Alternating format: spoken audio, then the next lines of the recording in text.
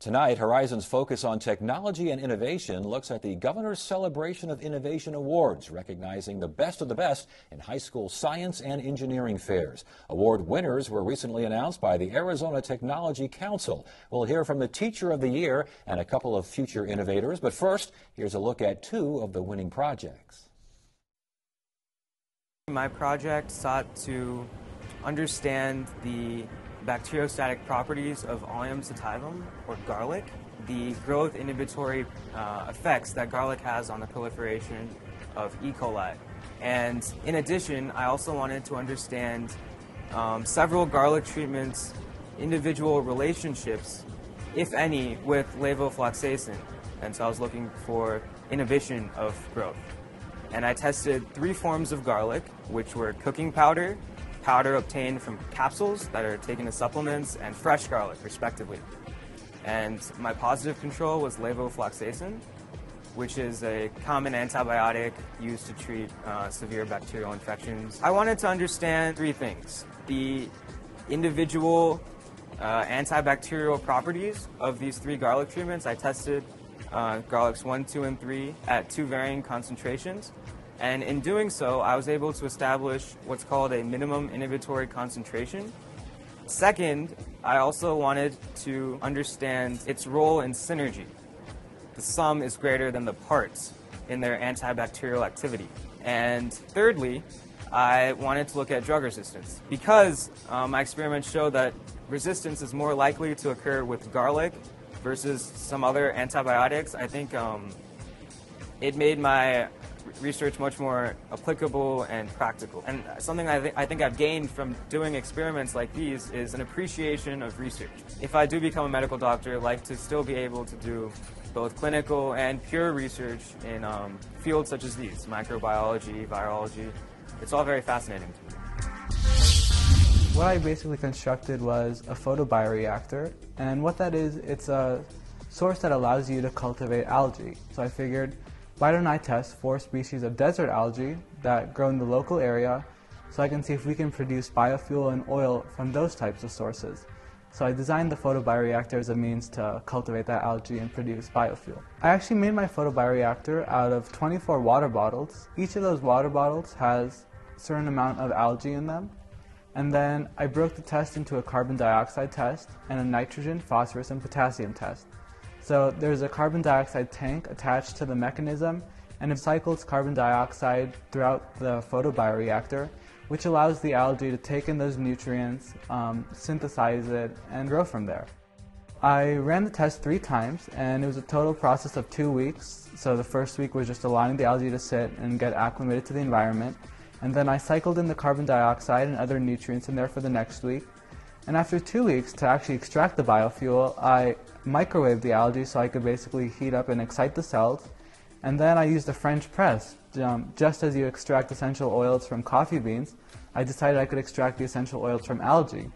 And with just half a minute of warming it, I was able to extract about 20 microliters of oil from each of the algae species. I just tested it at 24 water bottles and 90 microliters of algae total, which is not a lot, but the yield that I got was four times as much as I started in just two weeks. I really want to become a neurosurgeon or a cardiac surgeon, and then I'd like to provide free medical care to rural communities around the world. And here now to talk about their awards are Birgit Mushino, an honors biology and biotechnology teacher at Desert Vista High School in Phoenix, Akash Jain and Raj Vatsa, both students of Brophy Prep in Phoenix. My goodness, good to have you all here. Thanks for joining us. I want to start with you. Uh, were you surprised by this honor? I was surprised. It was a very pleasant surprise. Yes. Yeah, and, and, and, as far as, as being teacher of the year, what, what do you try to instill into students? And how do you do it? How do you get those minds to wrap themselves around some pretty heady concepts here? It is some heady concept. I think really it's just that um, I feel pretty passionate about it. I think it's fascinating and interesting, and so I try to convey that to my students and show them the real world applications of the science that we learn and, I, and, I, and the ability to solve problems using the science. Yeah. Akash, as far as this particular project and this particular avenue, why'd you go this direction? Something you've been thinking about for a while? Uh, yeah, um, I, I had strong interest in microbiology and I wanted to um, investigate and do a project on that. But uh, specifically, I wanted to look at um, the traditional herbs and spices that um, have been shown to have antimicrobial properties, or at least um, uh, in myth they have. And so I wanted to understand the scientific uh, evidence or uh, behind that. And so that's why I chose to um, do this project. And Raj, what about you? What got, are, are, were you interested in, in, in biofuels all along, or vehicles, or what got you going here? Um, well, so the thing that really got me going was I was watching this ExxonMobil commercial on how they were using blue-green algae as sources of biofuel, and just reading about how the fossil fuels that we use are about to deplete, they're going to deplete. So just to find an alternate source of energy. So my biology teacher in ninth grade, um, she got me going and looking towards um, algae. So I went down to Casa Grande and grabbed a few, four different species actually, and began to test different nutrient sources to test their biofuel and lipid output. My goodness. Now, sophomore Brophy, correct? Yes. Sophomore Brophy, correct? Okay. Do your classmates have any idea what you're doing? Um, well, a lot, and I'd say a lot of my classmates are as intelligent, if not more intelligent than me. Um, Brophy is such a fantastic school, so they have a lot of like-minded individuals, and it's, I mean, the classroom environment just gives me an ability to challenge myself, work harder, and see what I can perform. Same with you. I mean, do, do your friend? I mean, do, it's one thing to say you're working on an experiment and you're doing this, that with, with, with spices and trying to figure out the medicinal qualities, but do they really get what you're doing? No, I definitely agree with Raj. Um, provides a, a great atmosphere and um, environment for um, this kind of stuff. Um, the teachers are absolutely phenomenal and inspiring and encouraging students and my fellow classmates um, as well. It's, it's a great, uh, great environment. It helps having a good home environment too, huh? Parents, parents enjoy this guy, and this recognition came pretty proud parents, I would think.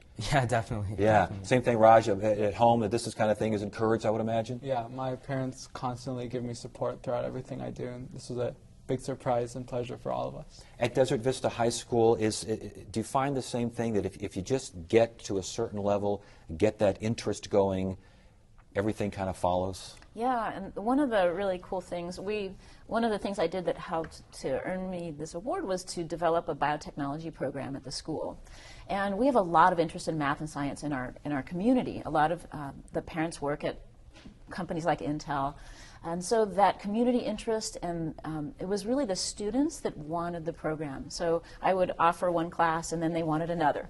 So it's, it's really nice to see the interest coming from the students themselves rather than something from the top down Yeah. mandated that we do. I, I don't know how many years you've been. How many years you've been teaching? I've been teaching since 1997. Okay. Are you seeing a difference in students as the years progress, or is it, have they always? This has always been kind of the situation as it stands now. I think I, I feel like more and more students are interested in science and math. But we've always had pretty strong interest in our community. Yeah. But I've never had so many kids signing up for competitions in science and taking so many classes. Yeah. The competition helps, doesn't it? It kind of gives a little extra push, I would imagine. Yeah, definitely. Um, I think the best part is meeting other students with similar interests and learning about their projects and what they've been doing. Um, yeah, like I recently attended the um, ISEF in Los Angeles, California, and that was really um, an incredible experience. So yeah, I, I definitely agree with that. Uh, you picked your college out? Yeah, you're still a sophomore. You've got some time. You, any ideas? Uh, not really. It's pretty wide open. Um, It, anything goes. How about you? Any ideas for college so far? No, same as the Akash, just looking at everything, um, seeing as waiting for options as they arise. Well, it sounds great. It's, uh, great stuff. Congratulations to all. Uh, good. My goodness, this is very impressive and continued good work. Thank you so you. much. Thank you.